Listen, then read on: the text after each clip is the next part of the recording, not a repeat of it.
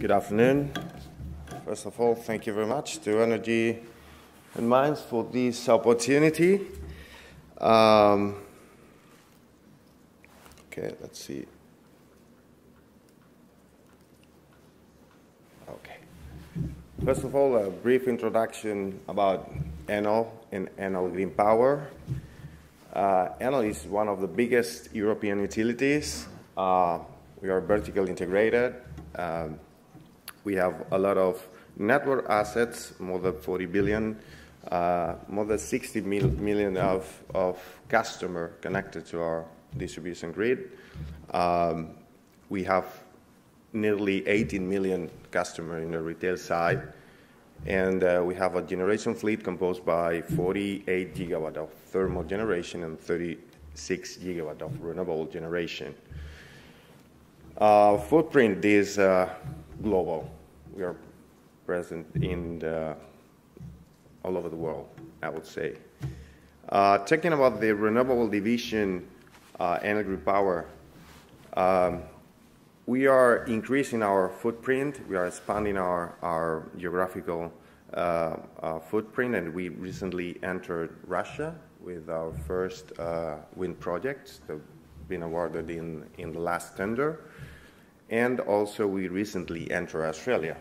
Uh, we are very happy about that. We, we are about to start construction of our first uh, PV project in South Australia. Uh, that is, the, I guess, the biggest uh, ready-to-build PV plant with more than nearly 200 megawatts. Um, okay, talking about the renewable portfolio. Um, the renewable division in Enel is in charge of uh, every single generation asset with zero emissions. That's the reason why we are we have uh, all the large hydro portfolio of Enel under our management. But talking about uh, renewables, as we know them, uh, we have nearly 11 gigawatt of installed capacity with more than 6 gigawatt of wind, uh, 1.2 gigawatt of solar. That would be in one year more than three because we are currently constructing uh, a lot of solar capacity. In particular, uh, our biggest plant that is going to be a 750 megawatt plant in Mexico. So we are a big player, let's say. And, uh, and talking about the the trends, the, the, the renewable transition, uh, I just wanted to point uh, to show a couple of slides about the last uh, New Energy Outlook published by Bloomberg Finance. And uh, this, this forecast uh, has been published three, three weeks ago, I guess, uh, contains very interesting projections. so the 72% of, of the new investments in power generation are going to be allocated to renewables in 2040. Um, wind and solar means nearly 50% of the installed capacity at that year, and uh, 34% of the electricity generation. So uh, Bloomberg Finance is, is, forecasting a huge increase uh, of renewable capacity but not only that, also is is showing uh, or is, is forecasting also a big transformation in the market structure. Uh, in particular for Australia, uh, the projection is that Australia is going to become in 2040 uh, the, one of the most decentralized market and is going to have the most diverse matrix in the world with some, I would say, uh, incredible uh, uh, figures, like, for example, that 45% of total power capacity located behind the meter, um, or 65% renewables in the matrix. That means that uh, if we believe these projections, uh, the design of the markets as we know them now are going to be completely different in the future in order to accommodate all that, that uh, renewable energy. Of course, they are uh, forecasting also a big presence of, of the, the batteries uh, in order to balance the, the operation of the systems. Uh, with respect to the, to the levelized cost, I mean, every curve in every uh, report is like that, so decreasing. Uh, but we have some uncertainties about that. Um, and uh, we don't know how we are going to arrive to the steady asymptotic uh, part of the curve for some technologies. So uh, it's a very long-term projection. Uh, of course, we have room to improve capex, but maybe it's not it's not a matter of, of the decrease in the levelized cost, but a matter of the next technological disruption that is going to to make uh, the renewable energy cheaper. So we are a, a global player, and uh, in the commercial office in the business development division, uh, we are in charge of negotiating PPAs, basically. Uh, uh, PPAs, we, we, prefer to call it solutions. Uh, how we approach these, these partnerships with the with industrial companies, with the, with the mining companies, um, we have two concepts here, case by case and tailor-made. There's no other way. So we are global. We have to deal with very different regulatory schemes, very different market rules, very different uh, uh, project portfolios, very different uh, uh customer needs. So at the end, what we have to provide is a range of solutions. So in the last years, we have organized uh, uh, internally, Enel Group, uh, has been reorganized in order to be able to provide a wide range of solutions. Uh, so we are part of the renewable division, but in fact, we are working together with uh, other units of Enel Group.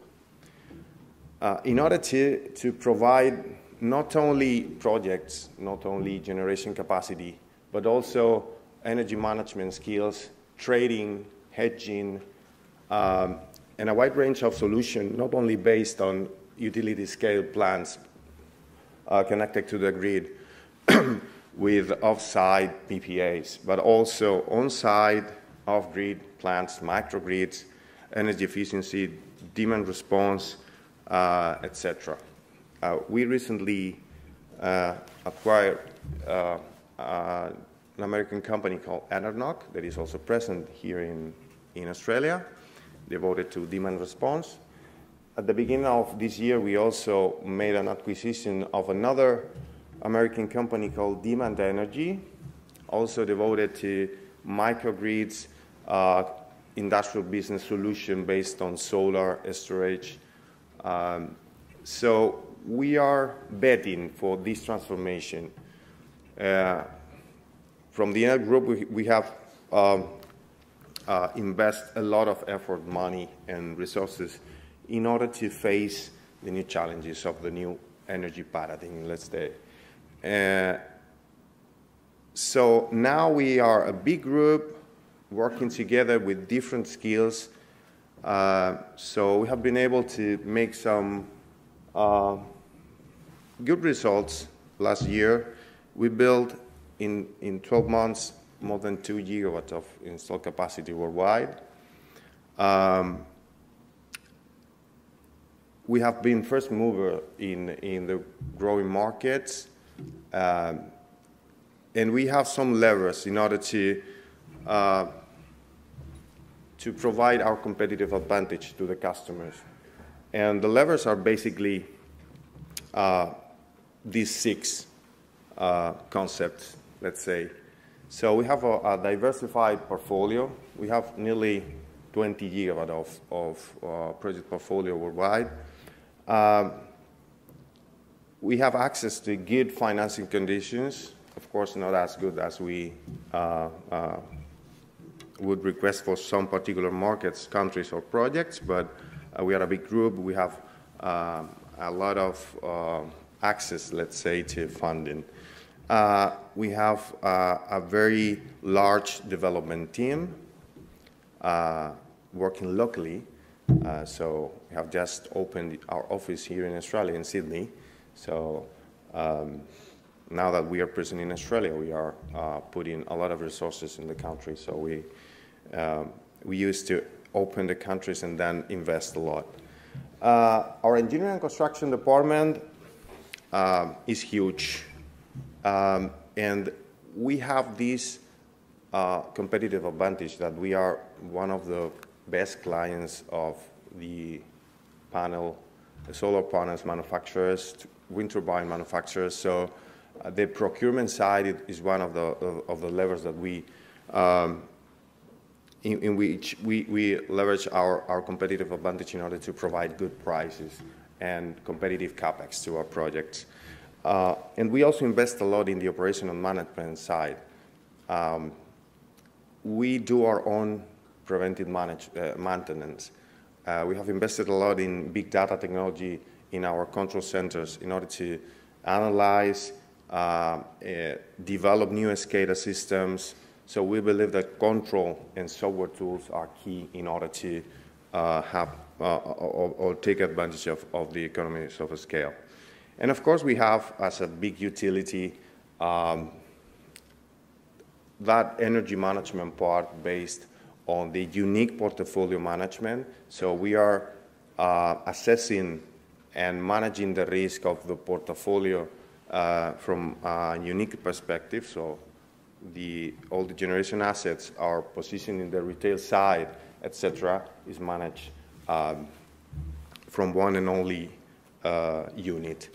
And, uh, and we have also a large trading team devoted to commodity hedging, etc. So all these capabilities, of course, with all these capabilities, we can approach the structuring and pricing of solutions, solutions uh, for mines, uh, trying to really apply those two concepts. Case by case, case by case requires a lot of resources.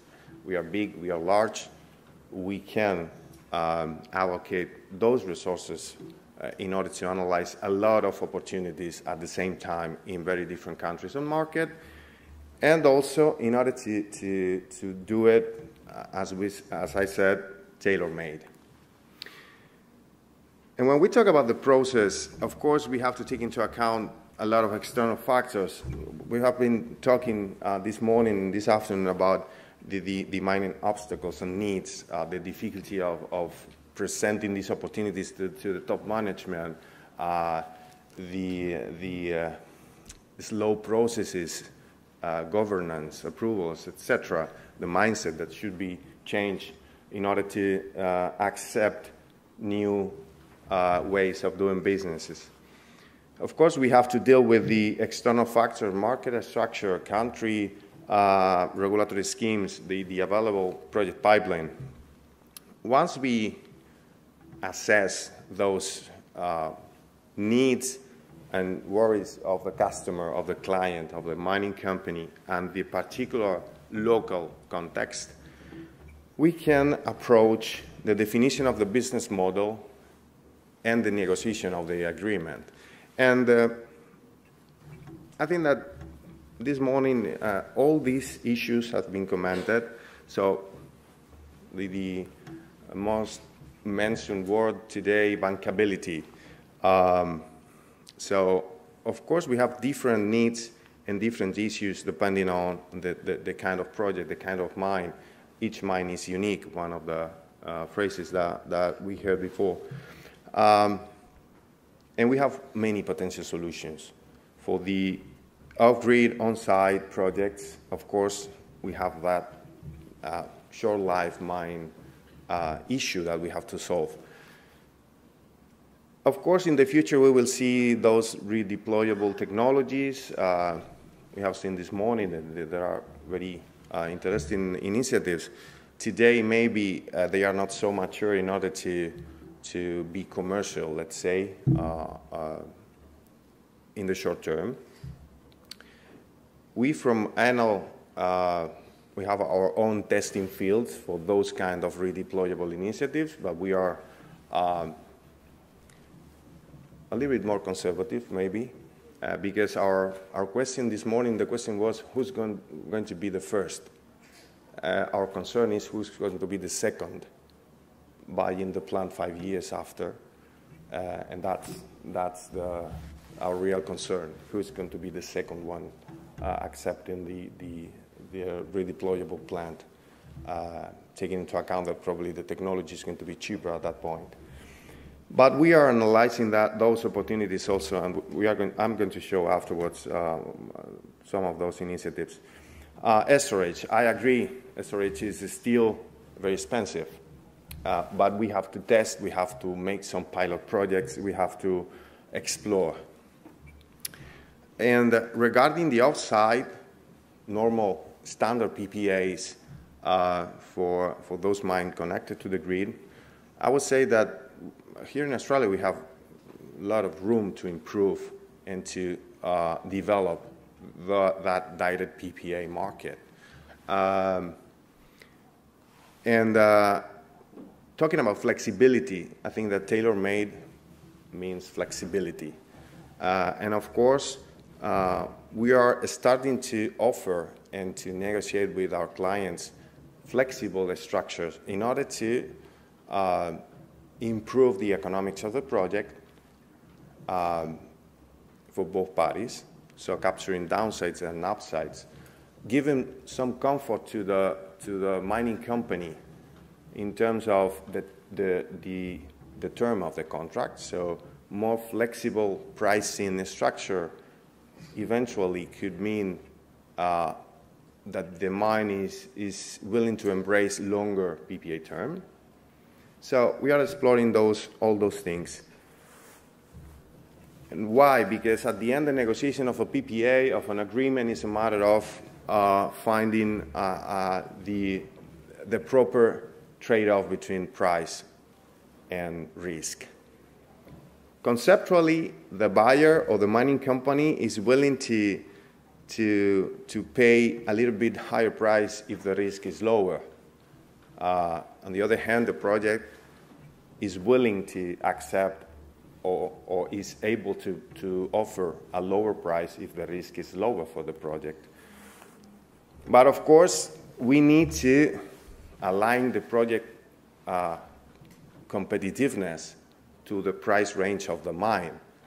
So it is a, a necessary condition. We need a good project, good capex, good performance, good resource. That's the first step. But then, even though we can be at the same price range, we need to accommodate both body risk aversion levels. So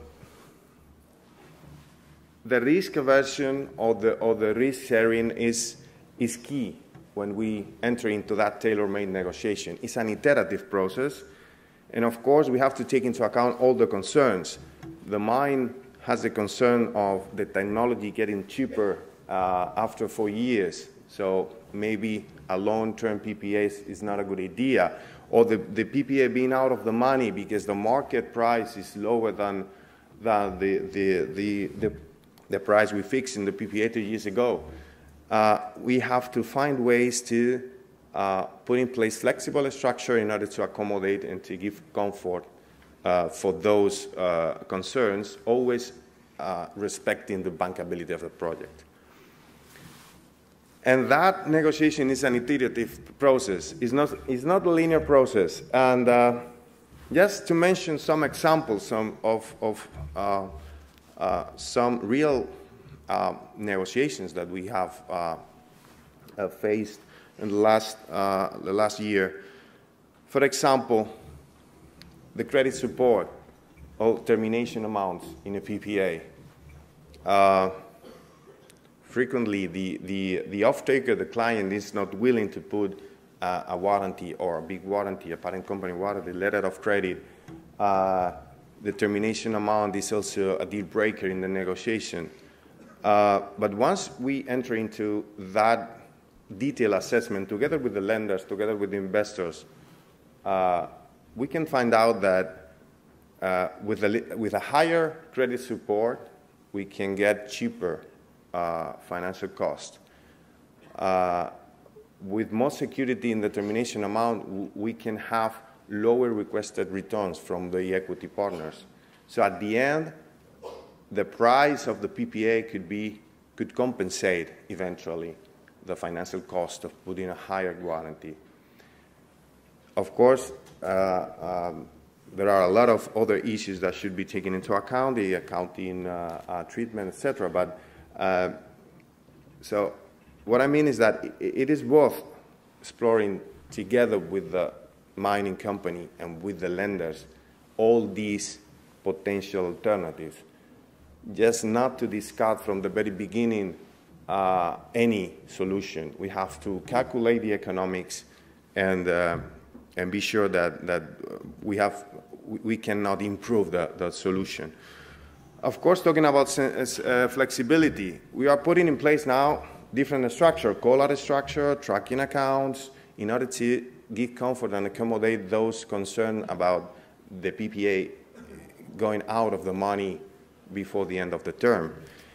And having that, those skills regarding the trading, commodity trading activity uh, internally in, in Enel Group, we are now uh, beginning to explore with some uh, mining companies potential um, indexation to metals or even to diesel cost of, of part of the, of the PPA price. Uh, in case that the mining company has uh, its own hedging strategy, we could find eventually some synergies.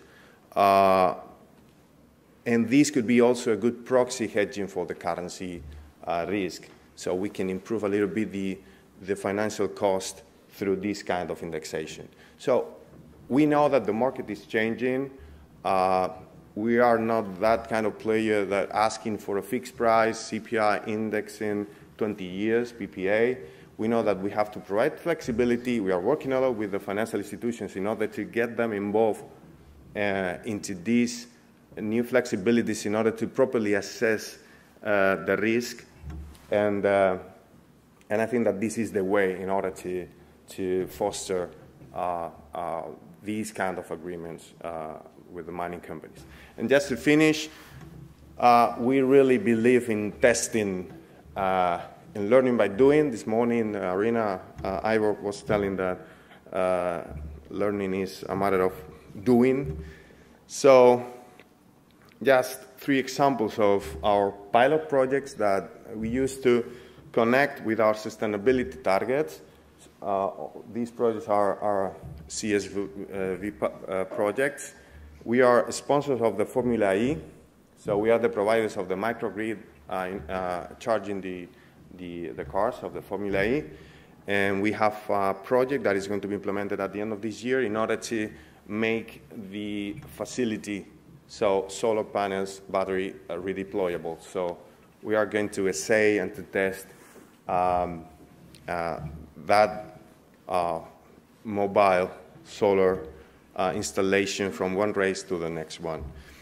And then we are pretty active uh, in the microgrid side with pilot project that, in fact, a part of being good, very good uh, uh, shared value creation projects are, in fact, uh, real testing fields in order to test new technologies. And we, I'm going to mention two of them. Uh, I'm going to start with, for the last one. Cerro Pabellon is the, the first geothermal plant in South America.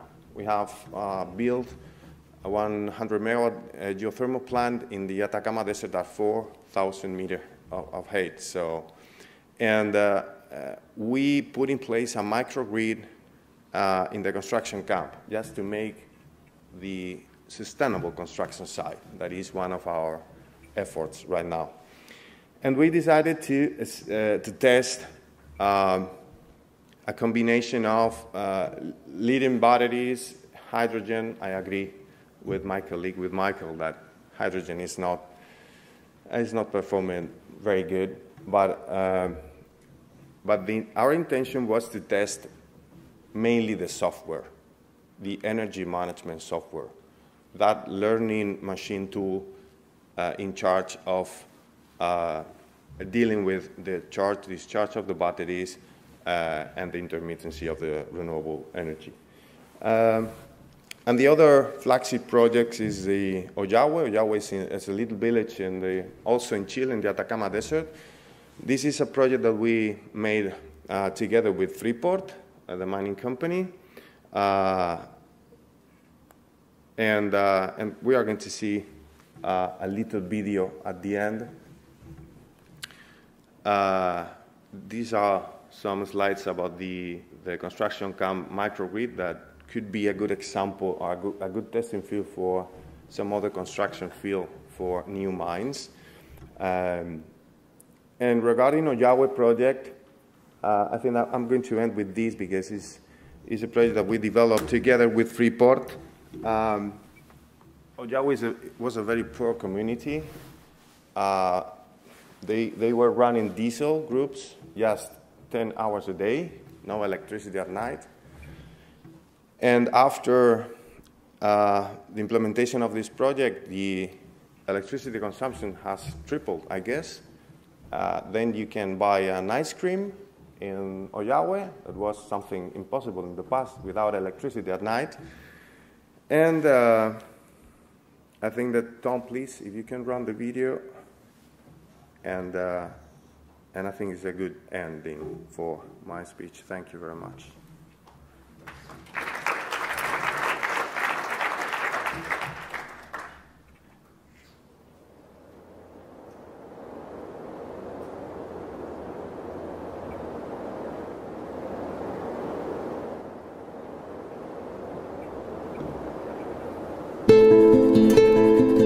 Yahweh lo caracteriza principalmente ser una comuna andina, estar enclavada a aproximadamente a 4.000 metros de altura, rodeada de volcanes y salares. Yahweh era un pueblo de día. La energía era hasta las 2 de la mañana y posteriormente Ollagüe quedaba en oscura. el Green Power está desarrollando acá en Ollagüe, en la segunda región de Chile, el proyecto denominado eh, Planta Híbrida Ollagüe, la cual conjuga energías renovables no convencionales como energía fotovoltaica, son 1.538 paneles fotovoltaicos y una pequeña turbina eólica. Esto también eh, funciona con un respaldo de baterías, las cuales nos permitirán entregar energía al pueblo de forma continua. En paralelo estamos construyendo también dos generadores Trinum, son paneles solares también en forma de parabólica, las cuales eh, van a dar agua caliente para la escuela de Ollagüe la verdad es que esto inicia con todo un programa social que tiene en él, que la sustentabilidad no está solamente en el área tecnológica, sino que también en los aspectos sociales. Fundamental para nosotros tener eh, la capacitación de las personas de la zona. Es un trabajo que sabemos que va a beneficiar muchísimo a Ollagüe. En el Green Power ha visto esta necesidad, ha planteado un modelo de energía sustentable eh, donde obviamente las personas de la comunidad van a estar trabajando directamente. Nos hemos hecho responsables tanto de estas mujeres que viajaron a la India en un programa que se llama Barefoot College. A pesar de ser un pueblo tan lejano, siempre me gustó aprender mucho más de lo que yo sé. Me arriesgué, corrí el riesgo y nos fuimos a la India. Fuimos a aprender a instalar paneles solares. En el Green Power está en ese propósito de seguir apoyándonos soy de las primeras personas que me gustaría seguir trabajando y aprendiendo mucho más.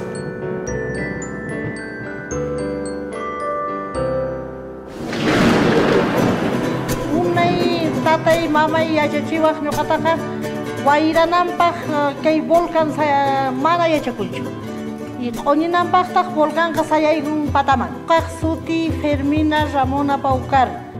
Escuelapi kan unayña así chunkawata hasta hoy. Entonces qallarini ñuqa yachakani costumbres tradiciones ruwayta chaymanta ñuqata invitawarqanku director profesores chanta ñuqaqa wawasta yachachini kay Ollagüipi. La distancia es complicada y la altura también. Es complicado estar lejos. Los jóvenes, ellos normalmente tienen trabajos, tienen inquietudes, tienen la, la, posibilidad de entrar a internet, pero con la energía limitada, ellos no podían hacer siempre eso. Entonces ahora tenemos la posibilidad de estar trabajando todo el día. Vamos a tener las 24 horas agua caliente y eso me facilita el trabajo. Tata Inti y Mamamuyo Paikuna Anchata Apampancha Keiman. Kukuituta. Kunan agradecición que se una kunasta, oyawiman chamunampa.